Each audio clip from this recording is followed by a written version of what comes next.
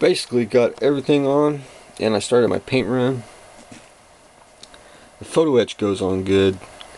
My advice is if you can mount the model and put the photo etch on, it'd be better because it's very delicate.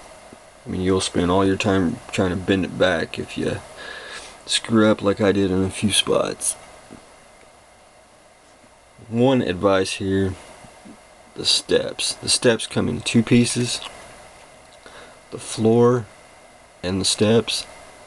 I recommend gluing the steps to the floor and then fold the steps up and then glue it on. That was the easiest way to do it and you wouldn't have to have it in the carpet.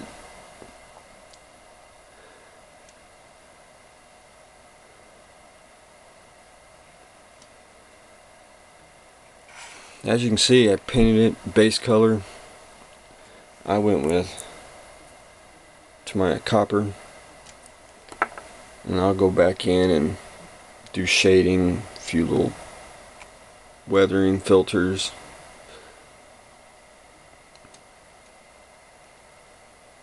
For the clear areas, liquid mask. For the base, I went with a sandy brown, tan color. A little bit of gray in it, but not too bad. And I'll go in and do some washes and some dry brushing, bring it out, make it pop.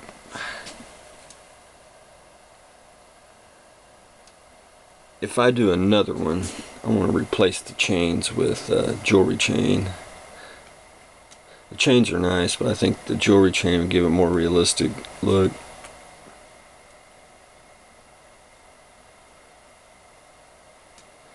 There is one spot on there I'm going to have to fix, and that is right there. I couldn't get it to fit. So I'll just take some styrene and make a shim and sand it down paint it. Be good as new.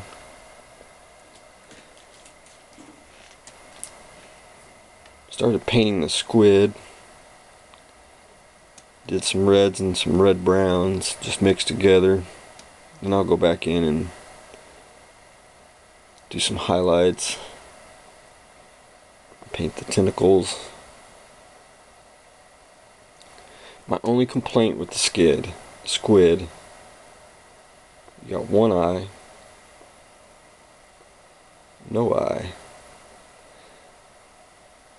Kind of technically you only can have it one way. That's my only gripe with the model.